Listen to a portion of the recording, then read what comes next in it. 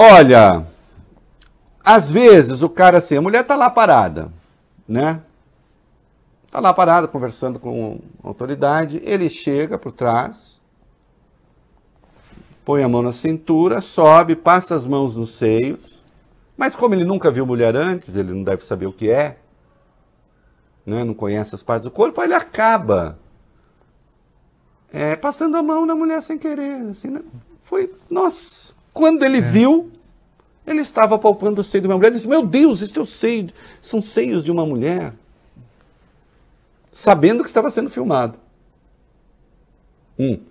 É isso porque os advogados do deputado estadual Fernando Cury do Cidadania de São Paulo estão questionando se houve assédio contra a colega Isapena do PSOL, esse caso de 16 de dezembro do ano passado.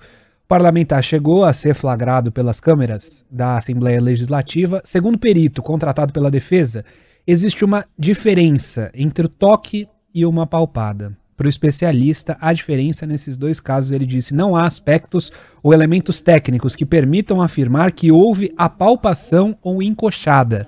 Se houve um toque na região lateral direita, ele ocorreu sem pressão, de forma tão leve que no momento não foi ao menos percebido pela deputada Isapena, que não esboçou uma mínima reação para o seu lado direito. A apresentação da defesa foi o último ato antes da análise pelo Conselho de Ética da Alesp. É, não sei, o técnico está fazendo o trabalho dele, mas, é, doutor, sendo assim, o senhor já deve ter levado, como é que é? Muito toque na lateral uhum. ou mesmo atrás sem que tivesse percebido. Foi bom? Gostou? Hum?